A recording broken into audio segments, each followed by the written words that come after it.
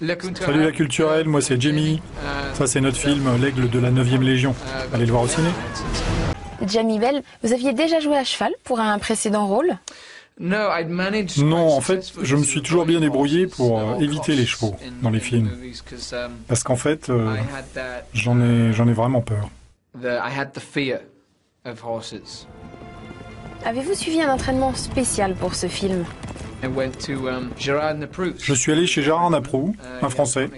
Il a une entreprise qui s'appelle les Cavaliers du Diable. Et sa fille, qui était elle-même cavalière dans le cinéma, m'a tout appris. Parce que j'étais paralysé par la peur, elle a décidé de me poser des questions un peu personnelles.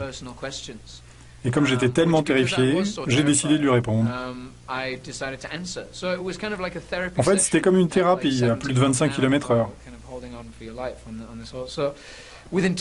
Donc en, en moins de deux semaines, je me suis senti incroyablement à l'aise. Et aujourd'hui, j'ai un grand respect pour ces créatures intuitives et majestueuses. Pour être honnête, le moment le plus difficile du tournage a été de se séparer des chevaux, de mettre un terme à cette relation.